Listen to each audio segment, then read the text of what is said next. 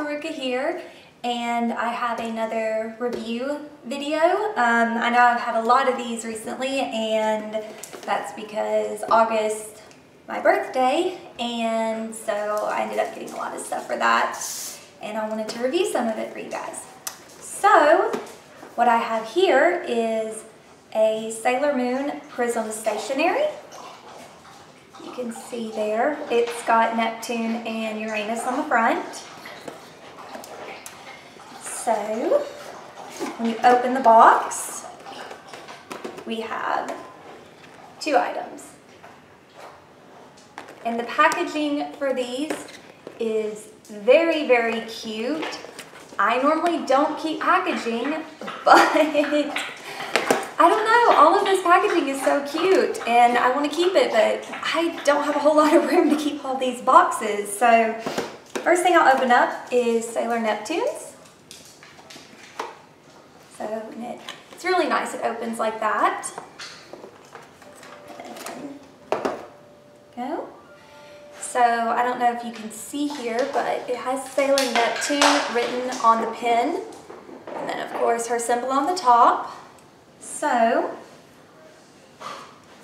first thing is it's a pointer. So that's pretty cool. I wish I had a reason to use this at work as a pointer. Sadly, I don't. Really, really wish I did. so, yeah, it's pretty neat. And then we will open Sailor Uranus's. Opens the same way. And as before, we have Sailor Uranus on the body of the pin itself and her symbol on the top. And it's for little pointer. So that's very, very cute. So I actually was under the impression that these were pointers and like writing pins, which is why I kept saying pin. Um, I think I may be wrong about that though. When, I bought these off of Amazon, so there you go. But I thought that they were actual pins in addition to pointers. And maybe I am missing the part where you click something off to make it a pin. But I don't think I am. I think they're just pointers. So, oh well. But they're still really, really cute. Let's get them out together so y'all can see them together. So yeah, here they are. They are super cute. And